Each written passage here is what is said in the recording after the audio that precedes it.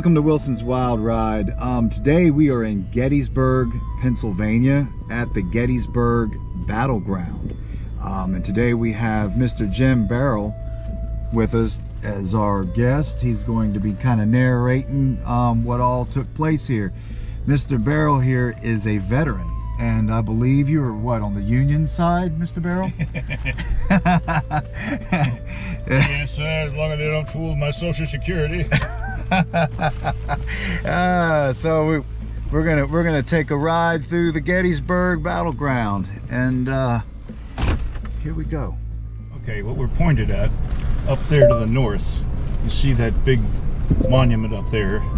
That is considered the monument for the whole battlefield. It's a major monument, mainly because this is the day, the first day's battle was hugely important. As I said, John Buford's men were lined up along this ridge, pointing their cannon to the west, horse-drawn cannon, and uh, all these Union cavalrymen were lined up along this ridge. Here we're coming to Buford Avenue here. Which way we go? We go left. Left? Okay. And out there are the hills that hide Chambersburg, or beyond the mountains, hills anybody from Wyoming would tell you those aren't mountains. And uh, the rebel army came this way from the west, headed east to Gettysburg, and they're marching down, I guess it was called Chambersburg Pike then. It's Route 30 now, but at any rate, they came this way, and Buford, knowing they were coming, because he had some intelligence, a scout out, as we say, and take a right. You have to. They came down and ran right into the line of Yankee cavalry, which started shooting at them, and the Confederates really were caught with their pants down, and they spread out side to side, as you have to do. You're marching single file, single column, into a line of artillery. You suddenly have to move left and right well, at that point, the artillery and the cavalry really shot them up. The cavalry, the Union cavalry, were carrying seven shot Sharps rifles, repeaters. Nobody else had those in those days.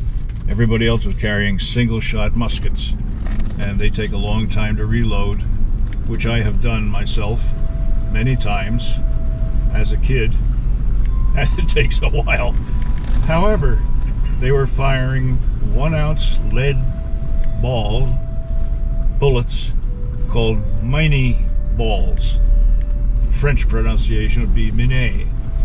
And that was a big lead bullet which weighed a lot and it was semi-conical with the first streamlined shot used and devised used during the war flew much better because it was streamlined and also it had a cone-shaped cutout in the base sort of like an ice cream cone had been cut out of it and so it expanded when you fired it so it grabbed the rifling of the rifle and this gave it spin so they were much more accurate than any other kind of rifle do you want to go on up here? Yep. Yeah, sure you do. Uh, because the ball expanded in the barrel, it grabbed the rifling and it got spin from the rifling. a spinning object is much more gyroscopically stable, so they were much more accurate weapons. The muskets were not accurate. The carbines, however, were much more accurate, and they also had seven shots. The artillery mounted up here that could fire onto the battlefield. You see the seminary cupola down there. Yep. That's going to be more important later. Anyhow, big battle on this field down to our right, called the North Field. Tremendous battle. Several famous stories happened in here. But the battle lasted all day into the afternoon, and the Union certainly had them stopped, but they were pouring in from Chambersburg, a whole army. Uh, Lee's entire army except for the people who had gone north to Harrisburg. And they had gotten the word, come for Gettysburg in a hurry. Can you imagine that? Marching all day, double time. Oh, anyhow, they were coming down from Harrisburg, having burned the bridge, and they got here just in time. They came in from here, the north side, and caught the Union Army in the flank. A lot of battle. This, the, the, the fighting swept north and south across this fire field all afternoon. Some famous things happened in this field. Uh, one officer saved some other officer's life, and they were pro- probably both from Ivy League schools, so they almost almost knew each other, or their families did. One guy saved the other guy life by giving him water or something. And 30 years later, they met at a party. And are you General? Blah, blah. Yes, I am. General Barlow. Oh. And 30 years later, after the battle, it's something to meet the guy who saved your life. At any rate, that happened and a lot of other famous things. And it swept back and forth.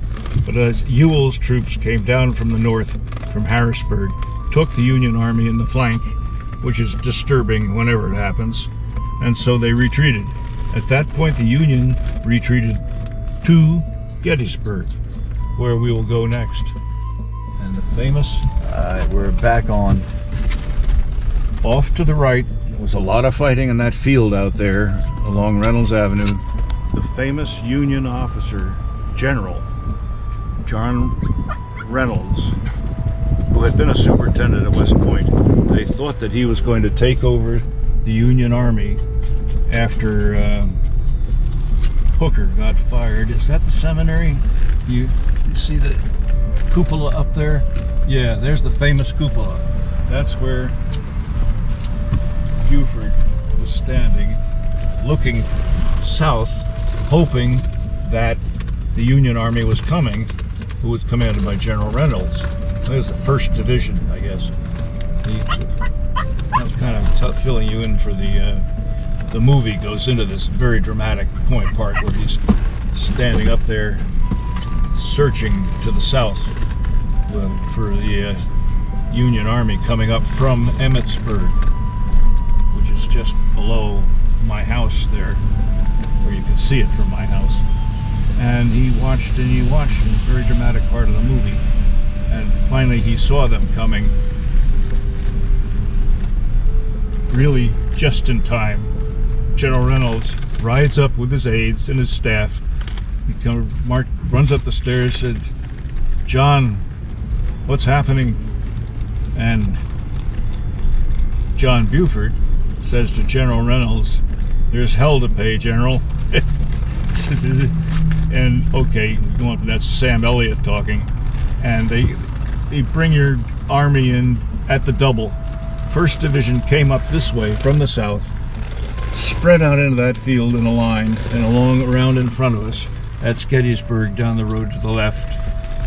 Spread out here and hid behind everything they could think of and went on into the town skirmishing. Now the Confederates were pretty tired by this time. They fought all day, no food, and so they were they chased the Yankees through Gettysburg. A lot of the Yankees hid in Gettysburg. Several of them got killed, and uh, a famous episode where a general or a high-ranking officer hid in a pigsty in Gettysburg until the battle was over, and the loyal family fed him, but then it quieted down for the night. Union Army went through Gettysburg, up the hill, to Cemetery Ridge. Now, this is Confederate Avenue. The Confederates in the second day lined up along where we're going to drive down their line of entrenchments and encampments and everywhere they were. I don't think it's become one way yet. And you'll see this line of cannons set up. This is where it begins. Confederates were all in the woods here. And along this line, they had their artillery pointing that way, which is east. And the Union army was all in Getty and up on the other side of Gettysburg, up on that ridge over there to the left, which is known as Cemetery Ridge. And very confusing. This ridge we're on is called Seminary Ridge. all these batteries, were the battle the battalions, the artillery was famous battalions were placed firing that way toward the town. And the Union was in the town and all lining up, camped out along Cemetery Ridge that night. And you could tell where they were by the campfires. Everybody used all the wood they could find, which is frequently farmers' fences, which irritated the farmers. Good thing not to have a war cover your property. Anyhow, there were no fences. They just tore up everything to burn, to cook their sow belly and their bacon, boil their coffee. And uh, this is going to go on for several miles. No, that's Imagine how tired you get. Sweating all day, no water. So the Union soldiers were sitting up on top of there, and the Confederate soldiers went half dead, dragging up the side of that hill to try to get to their enemy, and they're and they're down there shooting down. okay There's a wonderful statue up there uh, of a guy named Gouverneur Warren, surveyor. And he came down here and saw the battlefield kind of all by himself, but with a courier or two with him, alone, and saw what was going to happen if the Yankees didn't occupy that ridge. And he said he intercepted some people right here. I think it was 20th Maine, and sent them up here to the top of Little Round Top, and his name was Colonel Strong Vincent, a 22 year old colonel. He had gone to Harvard, and anyway, that's a big part of the movie. And he put the 20th Maine up there. He himself placed them because he could see what was going to happen, and he put them there as a blockage so that the Confederates couldn't anybody cannon up there and enfilade the whole battlefield. So here's another save the day action on the part of a very young colonel, Wow. and uh, well, he did it. Of course, he got killed that very afternoon. Look, there's monuments up there, statues for him. But Gouverneur Warren's the surveyor saw way ahead of time what was going to happen. They went back and told General Meade, "Look, this is bad down here." Meade said, "Take some men and get down there and cut them off, stopper the bottle," which he did. And Sickles, the guy who went that way, uh, should not have. And uh, he went that way and got shot, got his leg shot off, and his his leg is now preserved and in the Smithsonian. Nothing much left but a bone. Right. Say General Sickles, who became a senator, Oh wow. political general.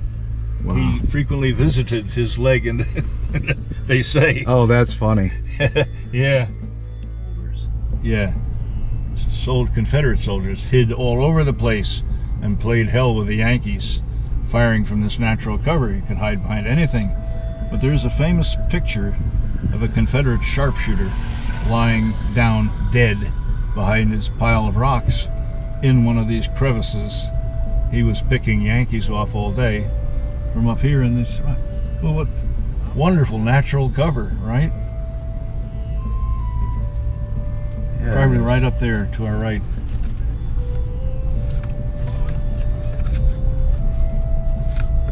So they came in here from the west, infiltrated in here, and took cover here, and were picking off Yankees all day long. You can see what kind of a view of Little Round Top you've Oh got from yeah, here. that's excellent. And they did have artillery here. You could pick them off, and they did pick off uh, Colonel Vincent and a lot of other people. Joshua Chamberlain, 20th Maine, the famous colonel, had his troops up there, stood off the Confederates who were coming across trying to take the hill. The end of the Union line was right here, and Joshua Chamberlain's Brigade Corps was anchoring it. They were the end of the line, which is a big deal in the movie, and it was a big deal. But you can see they had big rocks to hide behind, which was fortunate because Confederates were coming at them, a whole lot of them, from that direction. And the Yankees, the Union, stood up here and fought them off, charge after charge, time after time, maybe up to seven times. And in the end, the Yankees ran out of ammunition. Said, Colonel, we haven't got any more ammunition. Got no powder, no ball. What are we going to do? And Chamberlain made himself into a hero. At that moment, he ordered bayonet.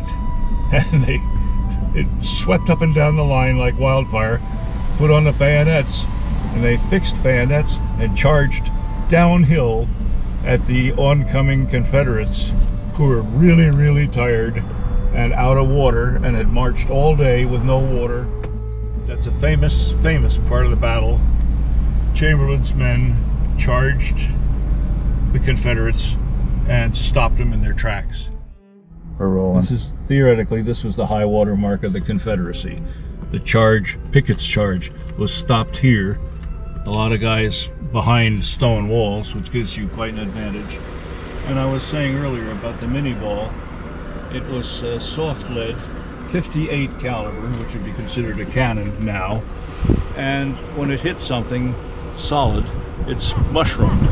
Well, that's very bad for your arm, the bones in an arm or leg. And so it would shatter the bone. That's why they amputated everything, not because they were stupid and didn't know better, because you can't do anything with a shattered arm when you've got a thousand more to do that afternoon. So of course the amputation is the only way to save them.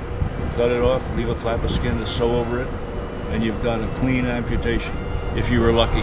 They didn't know anything about sterilization in those days. They'd drop their scalpel on the floor and wipe it off on their muddy sleeve. Nevertheless, people lived through it